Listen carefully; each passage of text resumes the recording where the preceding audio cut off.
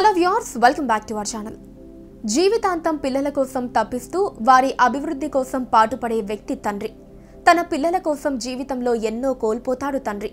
నాన్న మన కోసం ఏం చేశాడో మనకు తెలీదు. ఎన్ని కష్టాలు పడ్డాడో తెలీదు. ఎందుకంటే నాన్న ఎవ్వరికీ చెప్పడు. పిల్లలకి భార్యకి అస్సలు చెప్పడు. అమ్మలా ప్రేమను బయటికి చూపించడం నాన్నకు రాదు. నాన్న ఇంటికి ఎప్పుడో వస్తాడు వెళ్ళిపోతాడు. బిజీగా ఉన్న నాన్న రాత్రిపూట ఇంటికి వచ్చి మంచం మీద ఎదుగుతున్న పిల్లల్ని చూస్తూ ఉంటాడు. ఎప్పుడూ పనేనా? కాస్త ఇంటి దగ్గర ఉండొచ్చుగా అని చిరాకు పడుతున్న అమ్మ మాటలు వింటూ ఉంటాం. పిల్లలు కూడా నాన్నను మిస్ అవుతూ ఉంటారు. నిజానికి నాన్నను నాన్నే మిస్ అవుతూ ఉంటాడు. పెళ్ళై పిల్లలు పుట్టగానే నాన్న జీవితం నాన్న చేతుల్లో ఉండదు. మనందరి కోసం నాన్న రాత్రి పగలు పనిచేయాలి. చదువులు సమస్యలు బంధువులు పండగలు బర్త్డేలు ఆసుపత్రులు. వీటన్నిటితో నాన్న నలిగిపోతూ ఉంటాడు. ఆయనకు ఆరోగ్య సమస్యలు వస్తూ ఉంటాయి. వృద్ధాప్యం వల్ల అని పిల్లలు అనుకుంటారు వృద్ధాప్యం ఇంకా రాలేదు. మీకోసం అనుక్షణం కరిగిపోతూ కాలిపోతున్న నాన్నకి లోపల ఆరోగ్యం ఎంత దెబ్బతింటోందో తెలీదు. నాన్న డాక్టర్ను కలిసిన విషయం కూడా మనకు తెలీదు. ఎందుకంటే ఆ రిపోర్ట్లు తీసుకొని ఇంటికి రాడు. తన పిల్లలు గొప్పవాళ్ళవుతారని నాన్నకు విపరీతమైన నమ్మకం. అందుకే అప్పులు చేసి మరీ చదివిస్తాడు. ఆఫీస్కు సెలవు పెట్టి స్కూల్లో పిల్లల సీటు కోసం లైన్లో నించుంటాడు. మీరు పరీక్ష రాస్తూ ఉంటే బయట రోడ్డు పక్కన ఎండలో నిల్చొని ఉంటాడు.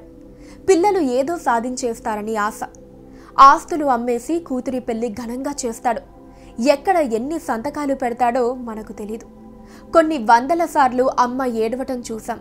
కానీ నాన్న ఏడవటం ఎప్పుడైనా చూసారా నాన్న కూడా ఏడుస్తాడు కానీ మీ ముందు ఏడవటం ఆయనకిష్టం ఉండదు ఎక్కడో ఒంటరిగా కూర్చొని ఏడుస్తాడు. పిల్లలు పెద్దై ఏదో పని చేసుకునే సమయానికి నాన్న అన్నీ అమ్ముకొని అంతా ఆరిపోయి అంతంత ఆరోగ్యంతో మిగిలిపోతాడు. అప్పుడే పిల్లలు నాన్నకు ఎదురు చెప్పటం మొదలు పెడతారు. ఇన్నాళ్ళు వీళ్ళ కోసం ఇంత చేశానా? నేను ఎవరి కోసం బతికాను?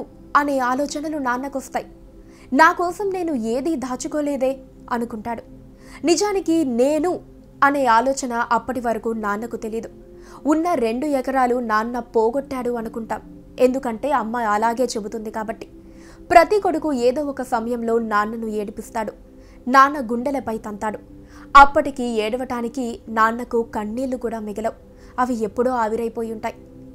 కొడుకు ఎంత మంచివాడు? ప్రయోజకుడైతే తండ్రి అంతే ఎక్కువ బాధ్యతగా సమస్యలు ఎదుర్కొంటాడు.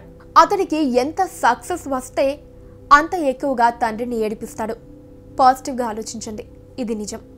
మీకు కొడుకు పుడితే వాడి స్నేహితుల పేర్లు గుర్తుంటాయి. బర్త్డే వస్తే పిల్లల్ని ఆహ్వానిస్తాం. కానీ మీ నాన్న స్నేహితులు ఎవరో మీకు తెలీదు.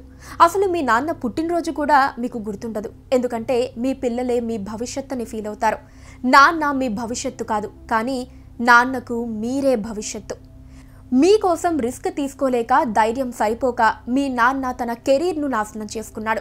మీ మూలంగానే మీ నాన్నలో ఉన్న ఎనర్జీ పోయింది. ఎక్స్ట్రాడినరీ అవ్వాల్సిన ఎంతోమంది నాన్నలు జీవితంలో తమ పిల్లల కోసం ఆర్డినరీగా మిగిలిపోయారు. ప్రతి నాన్నకు సెల్యూట్.